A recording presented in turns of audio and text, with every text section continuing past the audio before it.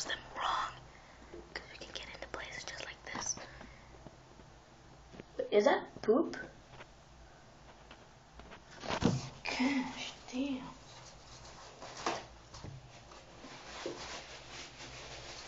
Yeah, then I also have some more powers that you're gonna like.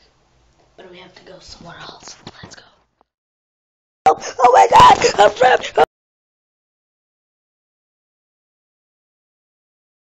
This is really important. I just got powers and I have to show them to you.